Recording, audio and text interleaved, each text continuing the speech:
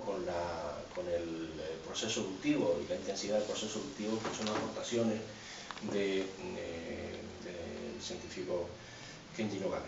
Con lo cual, eh, repito, agradecemos eh, esas aportaciones y agradecemos esa ayuda.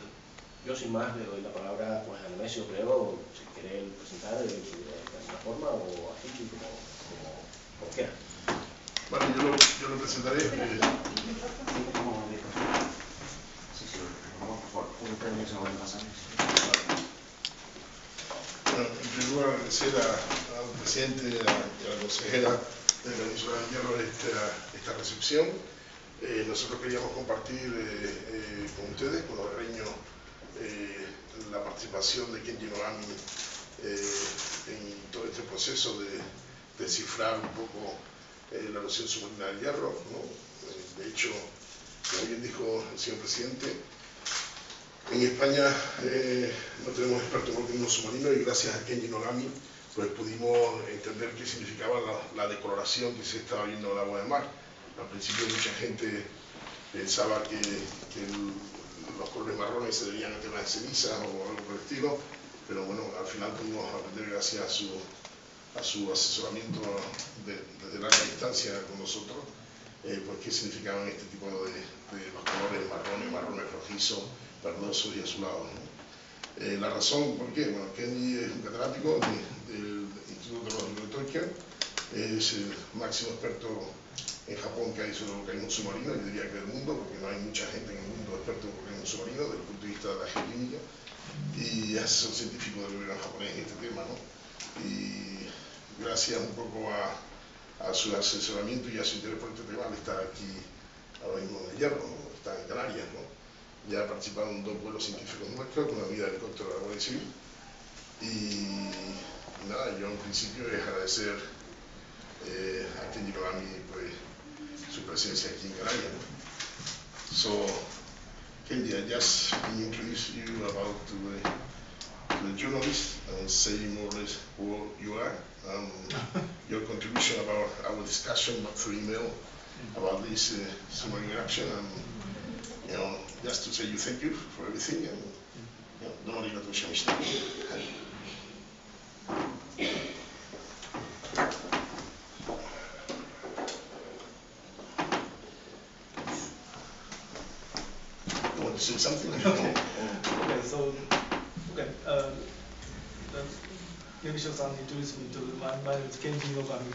professor of the Tokyo Institute of Technology, the Volcanic uh, Fluid Research Center now. So, um, I just uh, just uh, after the beginning of the submarine activity at the offshore of the El Hierro uh, island, so I focus on the discoloration of the surface of the sea because the, the, it's uh, one of the uh, significant, uh, significant phenomena of the submarine volcanic activity. So usually in Japan, so you can observe the discoloration of the surface of the sea uh, on the submarine activity, not only the, um, the submarine eruption, but also the submarine, submarine activity. Okay, so that means the the continuous uh, just activity, not the, not only the, uh, the eruption. Okay. I have um, some uh, experience on the observation of the submarine volcanic activity in Japan, so I can um, digest. I can explain about uh, explain this phenomenon uh, scientifically, the, chem the chemical. Bueno, él, lo que ha hecho es también introducirse, ¿no? él es de la Universidad Instituto Tecnológico de Tokio y, y, él lo que está diciendo que, es que los procesos de exploración son importantes eh, vamos a observar en el seguimiento de la evolución del fenómeno, que la decoloración en el agua de mar eh, de, no solo se debe a erupciones submarinas, eh, sino también a actividad volcánica, me refiero fundamentalmente a salida de gases, por ejemplo. No, solo es a la destrucción del material lábico, sino también a la salida de gases y que él tiene una amplia experiencia, bueno, querido decir una poca experiencia, pero bueno, tiene amplia experiencia en, todo este análisis de, erupciones submarinas en, Japón, utilizando desde el punto de vista de la geoquímica, por supuesto, eh, tiene mucho que ver el tema de la depuración del agua de mar.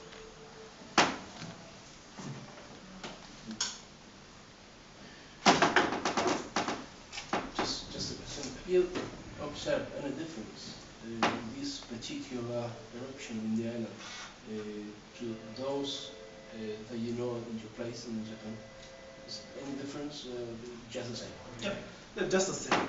It's not uh, completely same phenomenon. Same phenomenon. Yes. There's no difference. Yes. Fenómeno exactamente igual que se produce en Japón, no ha habido ninguna diferencia en este fenómeno respecto a lo que ocurre en, en Japón mentalmente. Uh, with your experience, uh, I would like to know uh, if the, the end of the eruption is near. Yeah, but, uh, Y- y- Using your She's asking, she's asking about the ending of eruption, you know, how, how Uh, it it, it, it's very difficult question to, to, to answer because the, the now the activity is still continue. Activity, volcan, submarine volcanic activity still continue because the, the discoloration of the surface of the sea, discoloration, you know, the discoloration, the, the change of the color of the surface of the sea, continues, continue now. That indicates uh, the hydros, I mean, hydrothermal activity in the hot spring water, acidic hot spring water coming from the depths uh, deeper part of the uh, volcano. So then that, that in- indicate the activity still continues. So that it is di- difficult to determine when the eruption will stop at, uh, at this moment, at this moment. So, but it is, uh, I think it's very important to watch or to see the change in the activity. I mean, so the, the color or the size of the discoloration area is a, is a very good factor for to predict the activity, the volcanic activity, submarine volcanic activity in the future. but uh, how long? You know how long uh, during months, years? Uh, it depends on the size of the magma, magma that- the, to, to this. So in, in Japan, the longest case is two years. The shortest case is a few hours. But in that case, the more than about three three months, the activity is uh, longer than three, three months. So that indicates that the magma uh, sufficiently big, uh, big, I think. Magma is sufficiently big. Traduzco para los que preguntado la pregunta que. ¿De cuánto va a durar este proceso? Y Kenji lo que ha respondido es que en este momento es muy difícil. Eh, si yo quiero añadir algún comentario, eh, decir que eh, añadir un comentario esa pregunta, ¿no? Por ahora seguimos en fase eruptiva eh, y las evidencias son claras, ¿no? Tenemos un fuerte proceso de decoloración a los días, tenemos incluso obstrucción de material láctico y no hay indicios o no hay observables todavía concluyentes de que estemos pasando de una fase eruptiva a una fase post-eruptiva. O sea, lo- lo- los volcanes tienen un ciclo, estamos en fase interruptiva, o sea, hay una fase intereruptiva, una fase pre-eruptiva, la fase eruptiva, la fase post-eruptiva y vuelta a la fase interruptiva. La fase eruptiva más reciente en el hierro pues, va camino de tres meses. La fase preeruptiva pues, puede, podemos decir que desde mediados de finales de julio hasta mediados de octubre, o sea, obviamente otros tres meses. Y la fase interruptiva, pues podríamos hablar de cientos de años, de cientos, de varios cientos de años. Eh, pero lo que sí es evidente ahora mismo, por la información que estamos observando y que disponemos, es que esa, esta fase eruptiva eh, eh, no hay una clara tendencia a que estemos pasando una fase post-eruptiva. Para ver esa tendencia de cambio, tendríamos que estar viendo una serie de observables a lo largo de varias semanas que nos concluyeran que realmente estamos en esa fase post-eruptiva. No es una cuestión de doblar la esquina, no sé si me explico. Eh, de hecho, el día 28 de diciembre, el Día de los Inocentes, nunca mejor dicho, hicimos un vuelo y, y- y no había ni decoloración. O sea, estaba azul, perfectamente azul, el mar en la zona donde estaba ocurriendo la erupción. Yo de hecho pensé que, bueno, y, después por la tarde del día 28 y día 29 empezó otra vez la actividad. Kenji también ha, estado expresando que eh, nosotros en Canarias, como ustedes saben, no tenemos, no hemos tenido conocimiento de erupciones submarinas, las ha habido, por supuesto, si no las islas estas no hubiesen existido, pero en la experiencia en Japón, pues ha habido erupciones submarinas que han durado desde pocas horas hasta dos años. Y que todo va a depender de la cantidad de magma que esté disponible eh, en el almacén que tenemos bajo la isla, por decirlo así, a salir.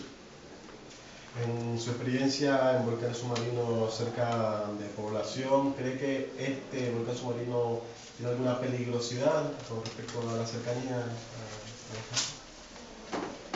Preguntan si, sorry, the, uh, he's asking if you think that uh, this uh, tsunami eruption close to the to the population of Stinga uh, shows some kind of hazard. No? So uh, if if there is some kind of volcanic hazards uh, that may affect the, the population. Yes, so um, the when the uh, magma volcanic edifice, right, I mean the submarine volcanic volcanic edifice gradually gradually increase, then the, the gradually it's shallower and shallower. The top uh, summit the submarine volcano shallower and shallower. Then the, the mode of the eruption completely changed. So I mean, so that if the the, the depth of the, the, the summit of the, the submarine volcano is uh, deeper than two, two, two, two, 20 meters, deeper than 20 meters, it's uh, just a, uh, the bubbling activity or the, uh, probably the fuming activity. But less than 20, less than 20, less than 20 or 10 or a few meters, so it change to explosive. So, so we can check the, uh, actually so the bathymetry is possible, is okay, but the, it's difficult to, to bathymetry, to, to, to, to uh, uh, measure the, the, it, it is by bathymetry. So, but the, actually the, the, it depends on uh, mode of the uh, eruption, mode of the eruption, depends on the, the of the uh, summit. So when the very shallow, in the very shallow, uh, shallow then the, probably the sometimes explosive uh, eruption occur. Explosive occurs. In in in Japan, so it, it's a worst case, the 400 meters, 400 meters high, the plume. Then the 100 kilometers, oh sorry, the one kilometers, one kilometers, the volcanic surge reached. So, but, but I think that before that, that, that, situation, so we can detect the gradually the volcanic activity, uh, sorry, volcanic activity gradually increase, uh, then the, the model will change. We can predict, I think. But, but, but it's very important to see the, the care the activity every day. En lo que él ha dicho, lo que yo creo que ya muchos de ustedes conocen, o sea, realmente la atrocidad de, un evento eh, volcánico como que está ocurriendo sobre la restinga eh, va, a, va, a, tener un carácter mucho más explosivo cuando el edificio llega a alcanzar eh, alturas considerables donde la columna del agua esté sobre 20-25 metros, ¿no? él habla de 20 metros, ¿no? Pues, si el edificio alcanza eh, profundidades de columna de agua por encima solo de 20 metros, ahí tenemos que tener mucho cuidado porque sí puede haber un cambio en la explosividad del evento por la interacción del agua con el magma. Eh, pero indudablemente ese fenómeno es perfectamente predecible. ¿Por qué? Porque nosotros podemos, eh, vigilando la actividad volcánica, podemos ver perfectamente si va creciendo ese, ese edificio, incluso sin hacer falta de, de barco, o sea, solo con inspección visual con helicóptero se puede ver si tiene eh, algo a, a, 20 metros de, profundidad, o sea, si la profundidad llega a ser muy somera.